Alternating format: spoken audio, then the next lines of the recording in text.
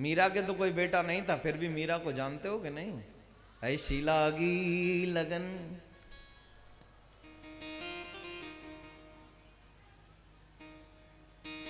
लो, मैंने शुरू भी नहीं किया और आपने एंड कर दिया उसका, है ना? किसकी बदौलत? मीरा के कर्मों की बदौलत। मीरा के कर्म इतने श्रेष्ठ थे कि मीरा को कुछ और करने की ज़रूरत ही नहीं पड़ी। इसलिए कर्म श्रेष्ठ करो। जब तुम्हारे कर्म श्रेष्ठ होंगे तो तुम्हें और कुछ करने की ज़रूरत नहीं, तुम्हारे अपने आप नाम हो जाएगा। दूसरी बात, और महत्वपूर्ण बात, ध्यान रखे, मेरा बेटा मेरे सहारा बनेगा। क्या बनेगा? सहारा, सेवा करेगा। मैं आपसे एक बात पूछना चाहूँगा मेरे भाई बहन अगर एक बूढ़ा बाप या बूढ़ी माँ चारपाई पे पड़ी हो चलने, फिरने की शक्ति ना हो, खाने पीने की क्षमता ना हो, कितने सेवा कर लेंगे उसके बच्चे? जवाब दीजिए। कितनी करेंगे? और कर भी लें तो क्या वो सुख मिलेगा उसे? चारपाई तो चारपाई है ना? ये मत सोच। कि मेरा बेटा मेरी सेवा करेगा। ये सोच मैं अपने देश की सेवा करूँगा, मैं अपने धर्म की सेवा करूँगा, मैं अपने गोविंद की सेवा करूँगा और जब मैं गोविंद की सेवा करूँगा तो मुझे मेरे बेटे की सेवा की ज़रूरत नहीं पड़ेगी। पूरी दुनिया मेरी सेवा करेगी, पूरा जहाँ मेरी सेवा करेगा, क्योंकि मैं हूँ और मेरा गोविंद मेरे साथ है, मुझे और किसी की ज़रूरत नहीं है।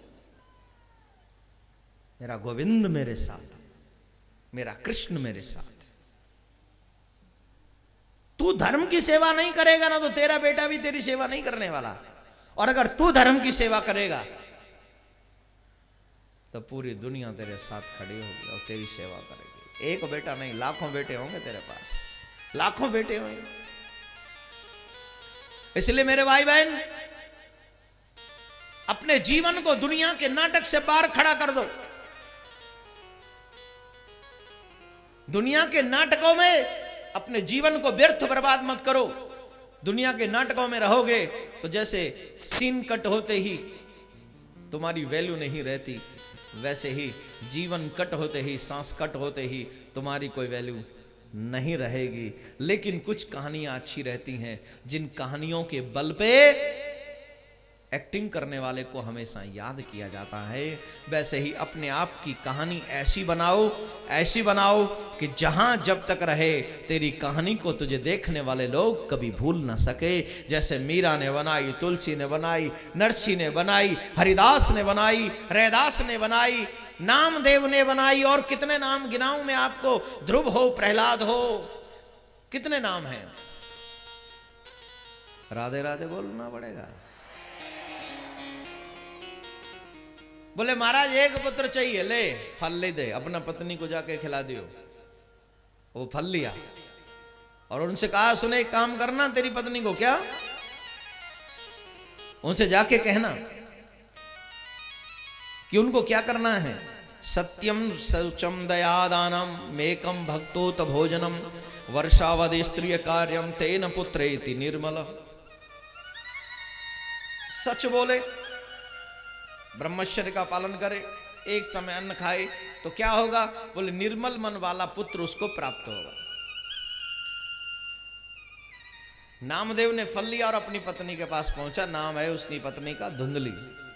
क्या नाम है? धुंधली। और धुंधली से कहा, ये फल खा लो, तुम्हें पुत्र रत्न की प्राप्ति होगी। और वो फल उसने खाया नहीं, वो गाय को खिला दिया, अपनी बहन से कह दिया, तुझे जो पुत्र हो वो मुझे दे देना। उसका नाम उसने धुंधकारी रख लिया। अपना नाम धुंधली और उसका नाम धुंधकारी। लेकिन गऊ के, संत के प्रसाद से फल मिला था वो तो उससे फल से पुत्र हुआ गऊ को। उस पुत्र को जो संस्कार मिला, वो बहुत ही धर्मपरायण मिला। वो धर्मपरायण बना आगे जाके। उसको भी एक पुत्र पैदा हुआ, जैसे मानव होते ना, वैसा ही। गौकर्णो पंडितो ज्ञानी धुंधकारी महाखल। गौकर्ण पंडित था, विद्वान है विद्वान है माँ बाप की पूजा करने वाला। सब कुछ है। धुंधकारी महाखल, वो अपोजिट एकदम। जितने भी लोग यहाँ बैठे हैं, ध्यान से सुने। तुम कितने भी बड़े धनवान हो, अगर तुम्हारे बच्चे संस्कारी नहीं हैं तो तुमसे बड़ा कंगाल कोई नहीं है दुनिया में। तुम दुनिया के सबसे गरीब इंसान हो, जिसने अपनी औलाद को दौलत तो दे दी, लेकिन संस्कार नहीं दे सके। कितनी दौलत दे जाएगा? जिस दिन तेरा बच्चा बिगाड़ने पे आएगा ना, हमें ब्रज में कह दो, करें, पूत सपूत तो क्यों धन संचय और पूत कपूत तो क्यों धन संचय अगर तेरो बेटा सपूत है तो ज़्यादा धन इकट्ठा करने की ज़रूरत नहीं है। वो अपने आप कमा लेगा। और अगर तेरा बेटा कपूत है तो भी कमाने की ज़रूरत नहीं। तू कितना भी कमा जा, वो सब लाइन में लगा देगा। अब बताइए, आपको सपूत चाहिए या कपूत? दोनों स्थिति में धन इकट्ठा करने की ज़रूरत नहीं। फिर क्या करे? बोले, देना चाहता है ना तो संस्कार की संपत्ति दे जा, अपने बच्चे को गुणवान बना जा, उसे ऐसा गुणवान, ऐसा चरित्रवान बना जा कि वो तेरी सेवा भगवान समझ के ही करे। इतने गुण तेरे बच्चे में होने चाहिए। हाँ इधर वाली नहीं बोलेंगी, है।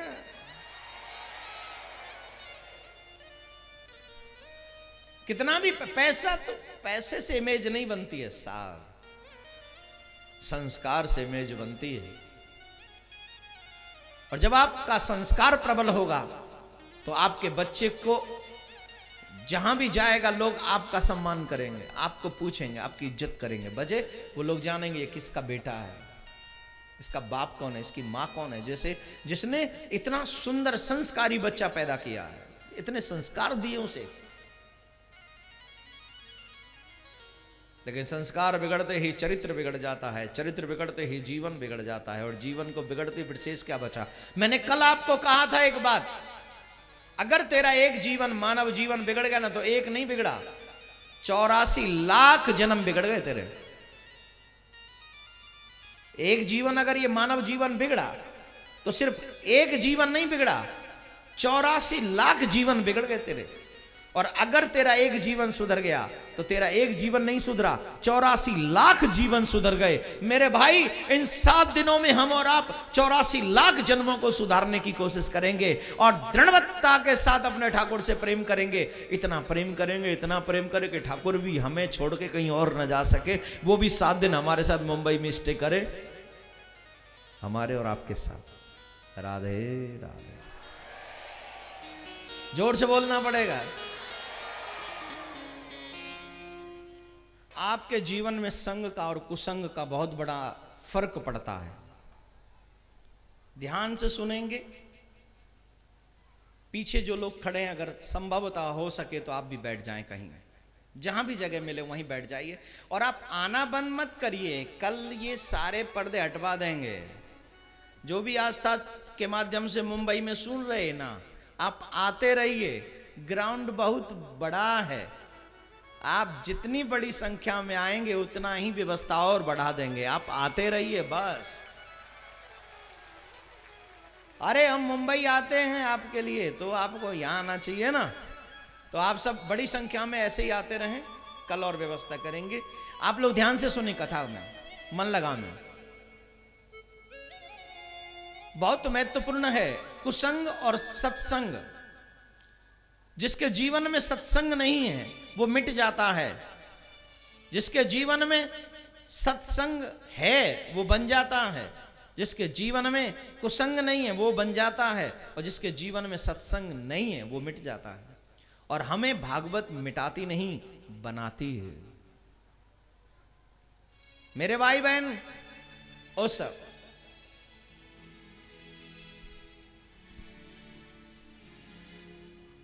आत्मदेव के पुत्र।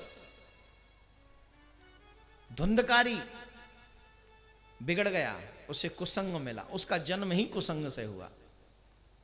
मैं माताओं से कह रहा था कि जब कोई गर्व हमारे मन में आ जाए, भगवान कृपा करे, कोई संतान को जब जन्म देना हो तो उस समय हमारी वृत्ति, मन की वृत्ति, मन का रुझान भगवान के चरणों में होना चाहिए।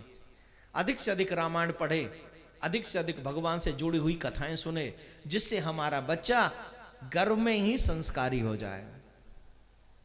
ये बहुत महत्वपूर्ण बात है। आप जितना उसे बाहर, अब परीक्षित ने गर्भ में ही तो सीख लिया था। अभिमन्यु ने गर्भ में ही तो सीख लिया था। परीक्षित को गर्भ में भगवान का दर्शन हुआ। आजकल माताएँ अगर चाहें तो वो गर्भ में ही अपने बच्चे को भक्त बना सकती हैं। धुंधकारी बिगड़ गया। एक बच्चे को अपने साथ में खेलने के लिए ले गया, किसी बात पे विवाद हुआ, उसका कंठ दबाया और गोविंदाय नमो नमः, कुएँ में डालाया जब उसे कुएँ में डाल दिया, उसके घर वाले आकर शिकायत करने लगे। और जब घर वाले शिकायत करने लगे तो आत्मदेव रो रहे हैं और कह रहे हैं इससे तो मैं पहले ही अच्छा था जब मेरे घर में कोई पुत्र नहीं था। पहले कम से कम लोगों की तो नहीं सुननी पड़ती थी। कई बार हमारे घर में ऐसे बच्चे आ जाते हैं जिनकी वजह से माँ बाप को नीचा देखना पड़ता है। कई बार माँ बाप ऐसा कार्य कर देते जिनकी वजह से बच्चों को नीचा देखना पड़ता है। जब घर में बच्चे हों तो माँ बाप को चरित्रवान होना चाहिए और जब घर में माँ बाप हों तो बच्चों को भी चरित्रवान रहना चाहिए। कहीं मेरी वजह से मेरे माँ बाप का सर न झुक जाए। ये हर बच्चे को सोचना चाहिए मेरे भाई बहन हर बच्चे को सोचना पड़ेगा। गौकर्ण जी महाराज आए। गौकर्ण जी ने पूछा, पिताजी, क्यों रोते हो? बताया, तेरे भाई की वजह से। बोले, भाई की वजह से नहीं, आप अपने आप की वजह से रोते हो। ध्यान से सुन लीजिए, हम सब एक दूसरे पे दोष लगाते हैं। मेरे भाई ने मेरे साथ ये कर दिया, मेरे घर वालों ने मेरे साथ ये कर दिया, फलाने ने मेरे साथ ये कर दिया, लेकिन याद रख, किसी ने कुछ नहीं किया। जितना भी बुरा किया, तूने ही अपने साथ किया। हाँ या ना? रिश्ते बनाए किसने? किसने बनाए? और ज़िंदगी भर बना के किसने रखे? मैंने। और मैं बार बार एक बात कहता हूँ, दुनिया के रिश्ते दुख देते हैं और कन्हैया का रिश्ता सुख देता है। आपको कौन सा रिश्ता चाहिए? सुख वाला या दुख वाला है? सुख वाला और फिर भी मुंबई में घर में बैठ के आस्था ऑन करना है। कैसे सुख मिलेगा? बताइए। फिर भी घर में ही ऑन करना है। पंडाल में जाओ ना, अभी बताओ, आप जो बैठे हो, आपको सुख मिल रहा है कि नहीं? मिल रहा है? क्या उनको घर वालों को उतना ही मिल रहा होगा? नहीं मिल रहा होगा। क्यों? बोले, जब हम भगवान की शरणागति होते हैं, जब हम भगवान के यहाँ जाते हैं तो हमें सुख की तलाश नहीं करनी पड़ती। दो दिन अपने आप से जिद कर लो, तीसरे दिन अपने आप ही आनंद बरसने लग जाता है। आनंद की वर्षा होने लग जाती है अपने आप ही। अपने आप ही घनघोर वर्षा होती है आनंद की। कब होगी? बोले, जब दो दिन अपने आप से हम जिद कर लेते हैं।